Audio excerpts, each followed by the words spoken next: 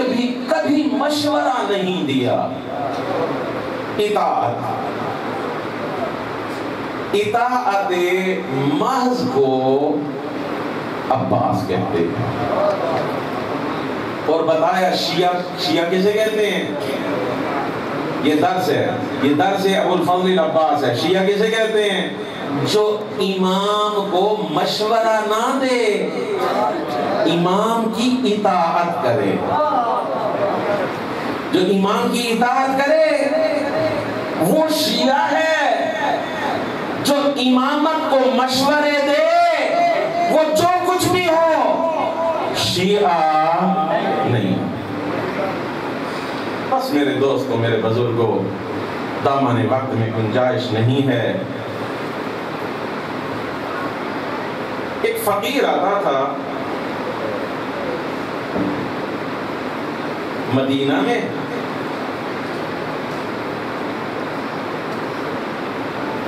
ایک گھر پہ جاتا تھا۔ دق الباب کرتا۔ اندر سے آواز آتی، من انتا؟ تو کون ہے؟ کہتا تھا، انا سائل و فقیر. میں سائل ہوں، فقیر ہوں، ہے کوئی مجھے دینے والا؟ وہاں سے ایک ہاتھ نکلتا، اس میں اتنا کچھ ہوتا، دروازے کی اوٹ سے ایک ہاتھ نکلتا، اس میں اتنا کچھ ہوتا، اس فقیر کو جب ملتا نا، بسم اللہ کر کے وہ چلا جاتا۔ پورا سال اسے پھر کسی در سے مانگنے کی ضرورت پورا سال۔ پھر کسی دروازے پہ مانگنے کی ضرورت نہیں ہوتی۔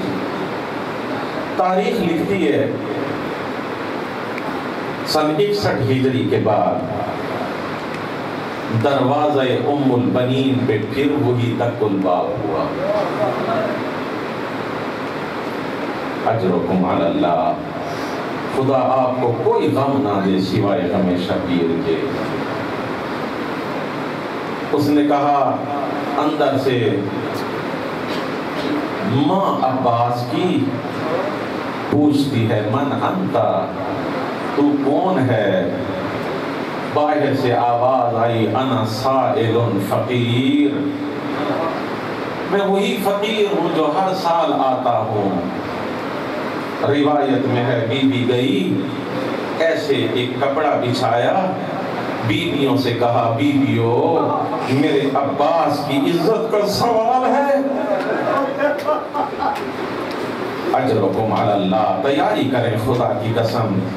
جناب ام البنین نے ایسے کپڑا بچھایا، بچھا کے بیویوں سے کہا بیویو میرے لخت جگر عباس کی عزت کا سوال ہے۔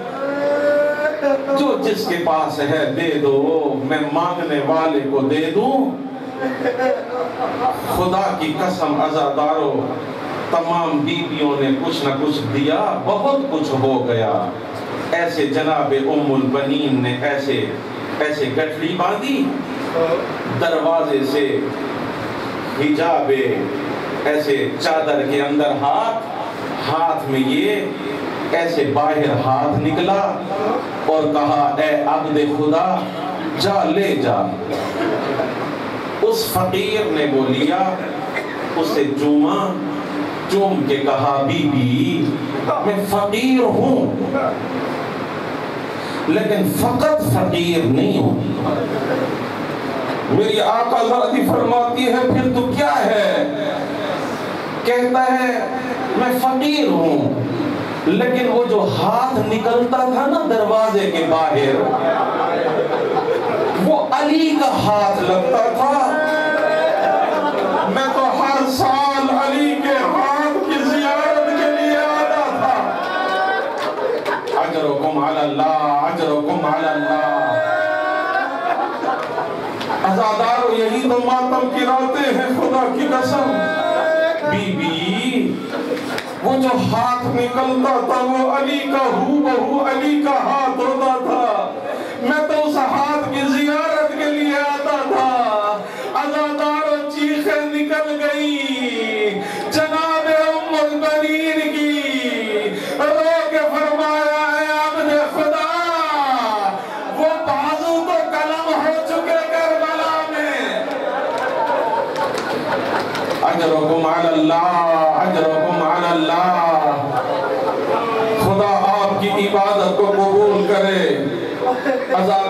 ازادار باب الحوائج کے مسائل ہیں۔ خدا کی قسم آج اپنے حوائج اپنے سینے میں رکھ کے بیٹھے۔ دیکھیے کیسے عطا ہوتی ہے۔ خدا کی قسم دیکھیے کیسی عطا ہوتی ہے۔ مقتل کا منظر آپ کی خدمت میں لے کے جانا چاہتا ہوں۔ بڑے مسائب ہیں ابو الفضل العباس کے۔ میں نہ پڑھ سکتا ہوں نہ آپ سن سکتے ہیں۔ ازادار و دس محرم کا دن ہے۔ دس محرم کا دن ہے جو میرے آقا اور مولا حسین نے خیمے لگائے تھے نا۔ ذرا ترتیب دیکھیں ترتیب دیکھیں۔ درمیان میں خیمہ حسین ابن علی ہے۔ اسی خیمے میں جناب زینب بھی ہے۔ اسی خیمے میں بیبیاں بھی ہیں۔ تمام اصحاب کے خیمے تھوڑا دور ہٹ کے ہیں۔ ایسے گول طواف کی صورت میں۔ اور ان خیموں کے بیبیوں کے خیموں کے بیچ میں ایک خیمہ ہے، جس میں پانی ذخیرہ کیا جاتا تھا۔ مشکیزیں رکھے جاتے تھے۔ درمیان میں مولا عباس نے اس لیے اس خیمے کو رکھا تھا کہ جس بچے کو، جس بیوی کو پیاس لگے نا، وہ اس خیمے میں آ جائے۔ پانی پی کے اپنے خیمے میں چلی جائے۔ درمیان میں خیمہ ہے جس میں ازادار و پانی ذخیرہ کیا جاتا ہے۔ دس محرم کا دن۔ ازادار و ایک ایک ہو کے جانسار جا رہے ہیں۔ لیکن جو بھی اجازت لینے کے لیے آتا ہے نا، اس سے پہلے ابو الفضل العباس آ جاتے ہیں۔ کہتے ہیں، آقا مجھے اجازت دے، میں بھی جاؤں۔ مولا فرماتے ہیں، تو میرے لشکر کا سردار ہے، جرنیل ہے، میں آپ کو کیسے اجازت دے سکتا ہوں؟ ازادار ابو الفضل العباس آ جاتے ہیں۔ ایک ایک ہو کے حضرت علی اکبر شہید ہو گئے، جناب امیر قاسم شہید ہو گئے، حضرت آن و محمد شہید ہو گئے۔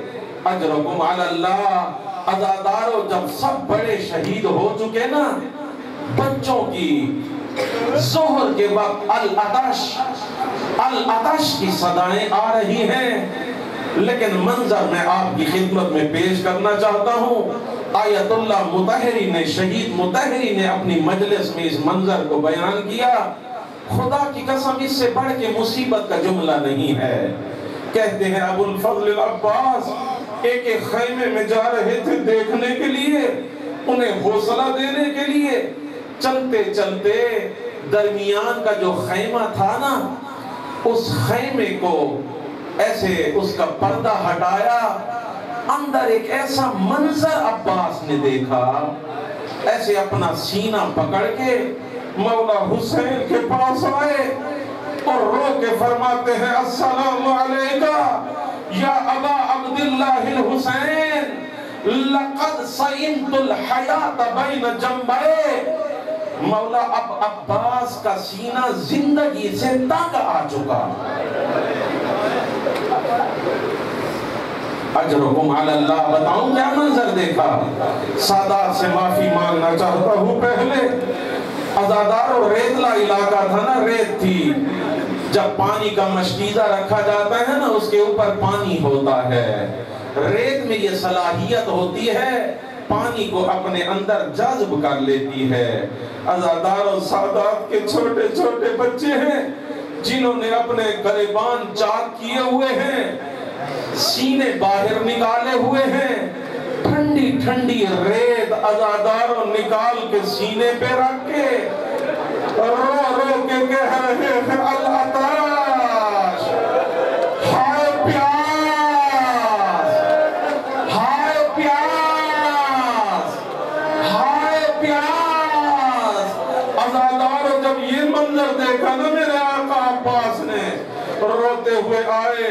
آگے کہتے ہیں مولا، اگر لڑنے کی اجازت نہیں ہے، تو ان بچوں کی پیاس بجھانے کی اجازت دے دے۔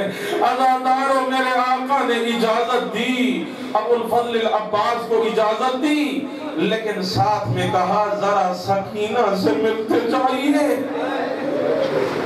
اجرکم علی اللہ، اجرکم علی اللہ، تیاری کیجیے، خدا کی قسم، آج ہم نے بہت دور جانا ہے۔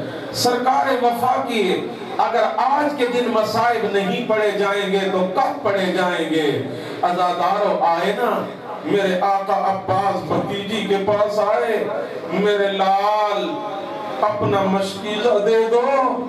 میں جاتا ہوں، آپ بچوں کے لیے پانی لاتا ہوں۔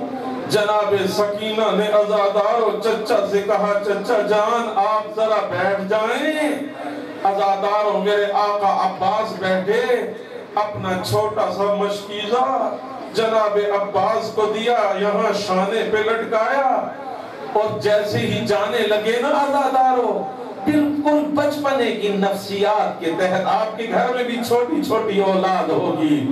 ازادار اٹھی، خوش ہو کے جناب سکینہ مسکراتی ہوئی کبھی اس خیمے میں جاتی ہیں کبھی اس خیمے میں جاتی ہیں چھوٹے چھوٹے سادات کے بچوں کو جمع کرنا شروع کیا۔ رو رو کے بھی کہتی ہیں، او بچوں، ابھی تک جو گیا نا، وہ عباس نہیں تھا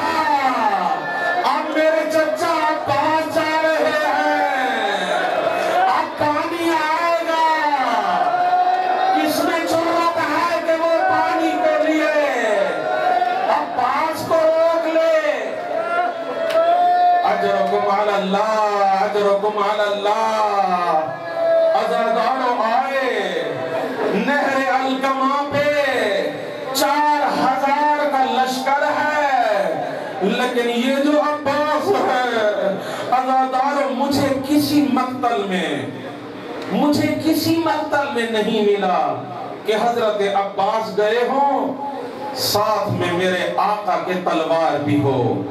مجھے کسی مقتل میں نہیں ملا۔ ایک جملہ کہوں مظلومیت کا۔ آپ میں سے جو گئے ہیں نا کربلا، اپنی روح کو لے کر جائیں۔ جو نہیں گئے سنی تو ہے نا ساری زندگی کربلا۔ ذرا اپنے آقا اور مولا سے توسل کرے نا۔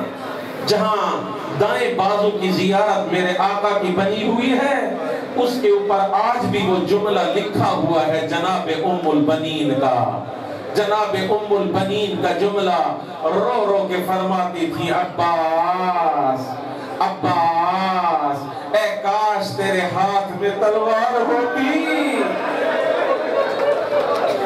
اے کاش، تیرے ہاتھ میں تلوار ہوتی، تو پھر کس میں جرت تھی عباس کے سامنے آتا؟ اجرکم علی اللہ ازادارو گھوڑے کو میرے آقا نے نہر القمہ میں داخل کیا۔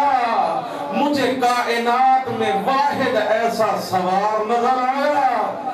سواری نظر آئی سوار بھی پیاسا۔ سواری بھی پیاسی۔ میرے آقا لجبال ہے، خدا کی قسم، کریم عباس نے گھوڑے کو ایڑ لگا کے کہا، اے گھوڑا، تو تو پی لے اللہ دارو اس نے زبان میں زبانی میں کہا، میں تو سرکار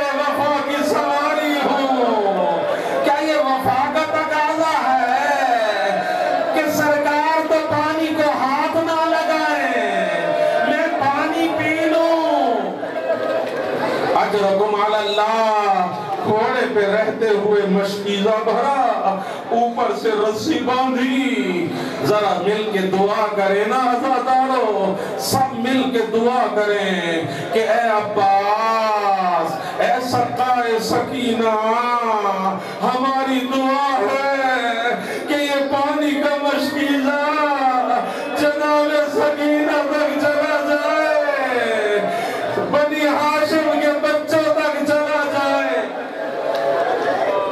اجرکم علی اللہ اجرکم علی اللہ مجھے مقتل میں ایک جگہ ملتا ہے، جناب عباس نے ایسے ایک چلو اٹھایا، کچھ یاد آیا، وہیں پہ گرا دیا۔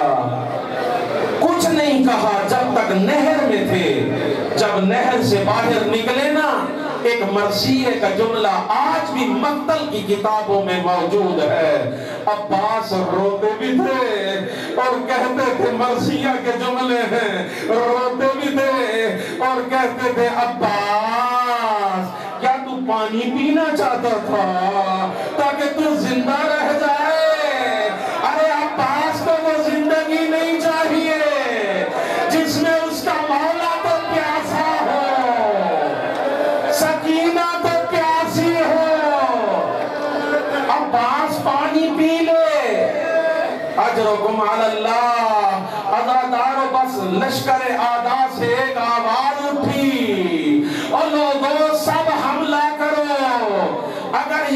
یہ چلا گیا تو جنگ کربلا ختم ہو جائے گی۔ آپ نے گریہ کر لیا، مجلس تمام ہو گئی۔ بڑے ادب سے، آرام سے، خدا کی قسم۔ تصویریں دیکھی ہوں گی کربلا کی۔ میری دعا ہے، جو گئے ہیں یا نہیں گئے، سب کو مولا کربلا کی زیارت دکھائے۔ زیارت کرائے میرا آقا اور مولا۔ ایک جملہ بڑے آرام سے مقتل کا ہے، خدا کی قسم، اپنے ذہن کو ذرا کربلا لے جائیں نا۔ اس کا درد وہ دل محسوس کرے گا جو کربلا گیا ہے یا جس کی روح اس وقت کربلا میں ہے۔ بتاؤں، کربلا میں ہر شہید کا ایک مزار ہے۔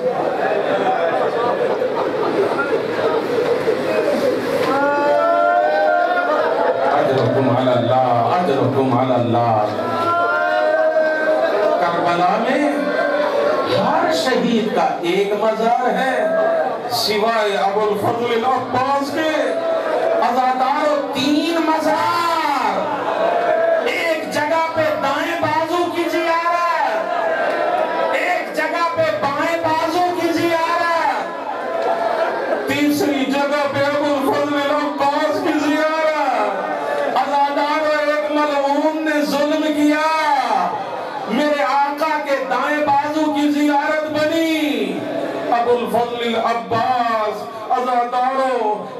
سے دائیں بازو سے اتار کے بائیں بازو پہ مشکیزہ رکھا۔